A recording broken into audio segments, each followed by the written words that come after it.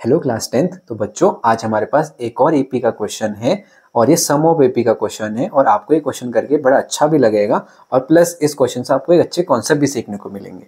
तो बच्चों क्वेश्चन है find the sum of the series of n terms अब यहाँ पे ना बच्चों, आपके पास फोर फोर फोर करके एक सीरीज़ बन रही है। दूसरा one upon n two upon n three upon n करके एक दूसरी सीरीज़ बन रही है। तो अब हम ऐसे क्वेश्चन में क्या करेंगे बच्चों? पहले हम दोनों सीरीज़ को अलग करेंगे। पहले हम एक सीरीज़ बनाएँगे फोर फोर फोर। और ये कहाँ तक जाएगी बच्चों? एन टर्म्स तक ये जाएगी। दूसरी सीरीज़ में बच्चों minus one upon n minus two upon n minus three upon n और ये भी कहाँ तक जाएगी बच्चों? एन तक। अब देखो बच्चों, अगर आप फोर प्लस फोर करोगे तो एट हो जाएगा, फिर फोर जोड़ोगे तो ट्वेल्व हो जाएगा, फिर सिक्सटीन फिर ट्वेंटी फिर ट्वेंटी फोर मतलब ये एक्चुअल में मल्टीप्लाई हो रही है। तो इसका सीधे जो आंसर होगा वो हो जाएगा फोर एन क्योंकि आपने एंड तक जाना है तो दस तक जाना होता तो फोर्टी हो जाता। ट्वेंटी तक जाना होता तो एट्टी हो जाता। इसलिए एन तक जाएँगे तो क्या हो जाएगा? Four plus four up to n तो आंसर हो जाएगा फोर एन दूसरे सीरीज़ में बच्चों, आप माइनस को कॉमन निकाल दो।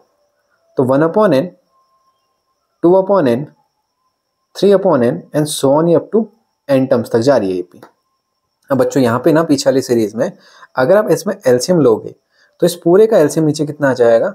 एन अब ऊपर जो है ना बच्चों, वो एपी है। One plus two plus three and so on up to n तक आपको जोड़ना है। अब एन तक जो एपी होती है, अगर पहला टर्म वन है, दूसरा टर्म टू है, तीसरा टर्म थ्री है मतलब वन टू थ्री फोर ऐसे चल रहा है। तो जो लास्ट टर्म होगा ना बच्चों, जिसको आप ए एन भी बोलते हो, वो एन ही होगा।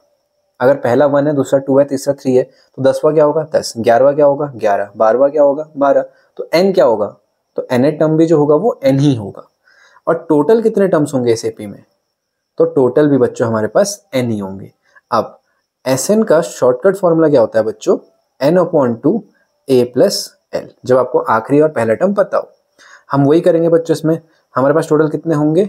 एन टर्म्स तो एन अपॉन टू पहला टर्म कितना होगा? वन और आखिरी टर्म कितना होगा बच्चों? एन एन से एन यहाँ पे कैंसिल आउट हो जाएगा। क्या बचेगा? Four n minus n plus one upon two तो एलसीएम लेंगे तो बच्चों यहाँ पे टू आ जाएगा। फोर टू जा eight minus n minus one तो बच्चों आंसर हो जाएगा हमारे पास सेवन एन ठीक है ना बच्चों? आठ में से एक कम करेंगे तो सात एन बचेगा।